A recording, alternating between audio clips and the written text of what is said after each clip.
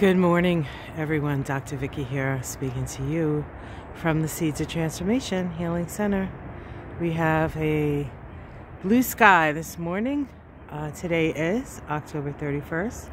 It is a Tuesday, and the moon is in Gemini. Yep, we haven't gotten to the fence yet. We actually went to the um, Jack-o'-lantern Spectacular at the Roger Williams Park Zoo in Providence, Rhode Island last night. And um, I do have some pictures, so I will share them with you guys later.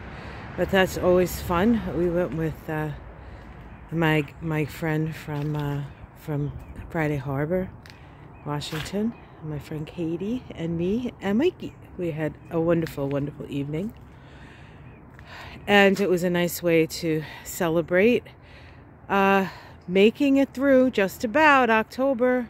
It's been a tough month, guys. It has been a tough month. So today we do have Venus, the planet of love, making a supportive and flowing trine to Uranus. This means that we can change easily.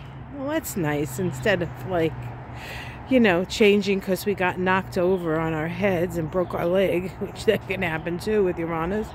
But not with this. No, no, no. This is all about uh, ease of change, ease of change, and an openness to out of the box, um, unusual things. If you're one of those people who rarely takes a, takes a chance on things, today is your day of course, don't overspend. That always goes, and that could just be me.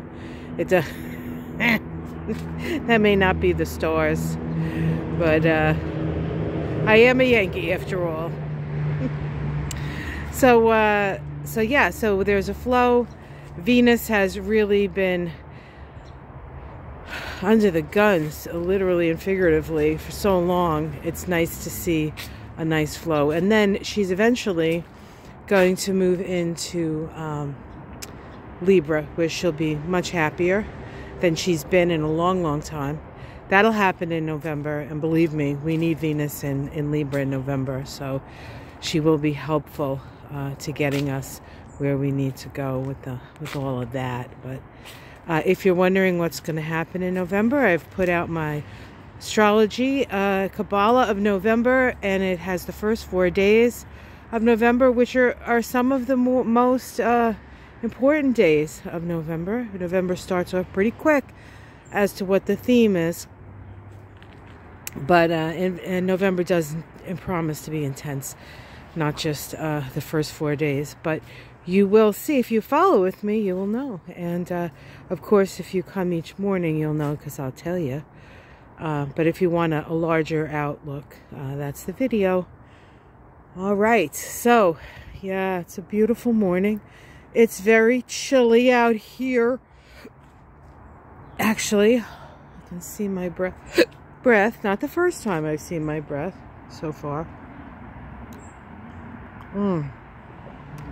But um, we had a little bit of a late night, and uh, well, for me it was like I was out to like I don't know ten. Oh, late. Uh, but everybody's sleeping now, and Wanted to keep it quiet in the house. So here I am out in the cold. Brr. Just for you guys. Nah, not really. For all of us, right? For everybody. It's so pretty. It's a good way to start the day. All right, guys. Have yourself a good one. Moon and Gemini. We will be communicative to each other. And with the trine of uh, Venus and Uranus, you might be surprised what people will be open to. Yeah. All right. Well, have yourself a wonderful day, guys. Stay safe. If you're out and about, uh, we're, we may be uh, going someplace special. I we don't know yet. So, uh, but if we do, I will take you along with us. All right. Have a wonderful day, guys. Much love. Let's see. What's a good end here? What's a good end?